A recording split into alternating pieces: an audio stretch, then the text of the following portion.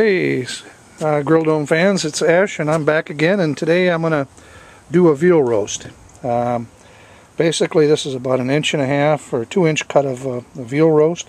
I've got it spiked with garlic and pepper and uh, salt and we're going to uh, cook that uh, on the grill at about uh, 275 oh, for I'm guessing an hour and at that point in time I'm going to throw it in the Dutch oven and uh, with some carrots and potatoes and let it cook another hour or so until the carrots and that are done. So, but I, first I want to just get this out and get it smoking, and we'll go from there. So hopefully we're going to have a decent dinner. Uh, this Ash back, and that uh, what we're going to do when we smoke it, we're going to be using some oak barrel, wine oak barrel uh, wood chips uh, for the, the scent of the meat. And then the, the Dutch oven, I've got carrots and garlic, and I'll add some potatoes, and near the end some mushrooms and I've got that in a, in a beef broth right now, probably two cups of beef broth in there.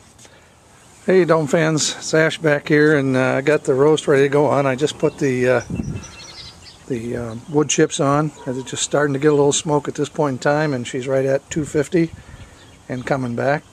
This is my old table. Uh, this is going to be the second to the last cook on this as I uh, have taken the time to build a new one. There it is partially covered you have to take special notice of uh, the beer can doorknob or door pull. I thought that works. I got a granite top due uh, on Tuesday for this, so hopefully I'll be cooking a little class next time. Well, there's the halfway, folks. Uh, just just turned it. Uh, it's been smoking for about a half hour. Hey, it's Ash back, and uh, what I've done here is I put the roast on top of some potatoes and some carrots and some garlic and I'll throw some mushrooms on there after a little bit.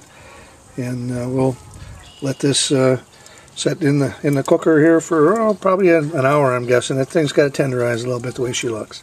Hey it's Ash back here. I just uh, put the mushrooms in and she's just uh, kind of smoking along here and kind of cruising and we'll just flip this dude just for a second the mushrooms are in and everything's kind of looking I think pretty good. What do you think